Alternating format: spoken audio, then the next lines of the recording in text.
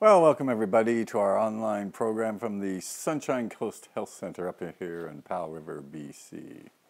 And the topic uh, this time is going to be on uh, myths of addiction. It's kind of interesting if you watch television or read Time magazine, read media articles online. Uh, this uh, description they give of addiction. So take as an example the new television show Elementary. It's uh, the new Sherlock Holmes. So Holmes is a recovering drug addict. And we get this information from the TV program that uh, he's got a disease. Uh, they made that clear in uh, one, one episode, or actually several episodes. Uh, he's got a problem that he needs help to deal with. He cannot deal with this by himself. Uh, if he has just one drug, it's going to be a complete disaster and everything will be destroyed. Uh, he's uh, completely powerless over this drug use, this kind of idea. Or take another example, Time Magazine. Uh, the most recent edition that I read on addiction uh, sort of showed the uh, obligatory picture of the brain and called it a disease. And uh, this brain disease, uh, the, again, the addict is um, operates from what they call compulsion.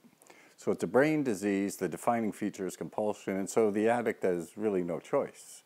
Uh, gets these really wicked cravings, and then doesn't matter whether he wants to use, doesn't matter whether he feels any pleasure from it. It's completely irrelevant he's going to use anyways because he can't resist the cravings. Okay, and that's why addicts use. And this this story that we keep hearing over and over again. This uh, this idea that it's uh, somehow it's a disease of the brain and of which you need help to overcome. You couldn't possibly do it on your own. Uh, uh, you really need medications for it and professional help. Uh, you have like one drug, and then the whole thing's a disaster. Uh, this is an interesting story uh, that keeps appearing, but the question is, like, you know, how real is it? So consider this, for example.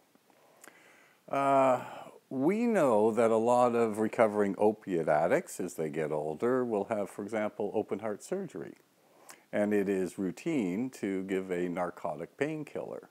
So if the theory is actually correct, then you would think that all of these people taking opiates for pain, uh, for you know this from the heart uh, surgery. I mean, they should all relapse. I mean, that's just the way it should operate, right? But that's not what happens, and we know that's not what happens. The research is pretty clear on this. So how do you make sense of that, right?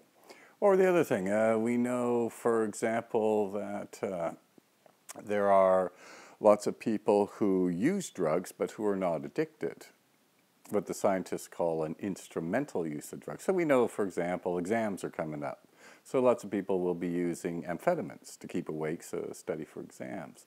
Now, if it's true that somehow, you know, this one drug is going to plunge everyone into addiction, then anyone in recovery uh, using something would, would automatically be plunged into recovery. And again, we know, yeah, it's not, it doesn't really happen that way in real life. So just a couple of examples of maybe this story that we keep hearing uh, through the media may not be entirely accurate. Anyway, in uh, this online program, we'll look at some of these ideas and we'll see, you know, how well they're supported by the science.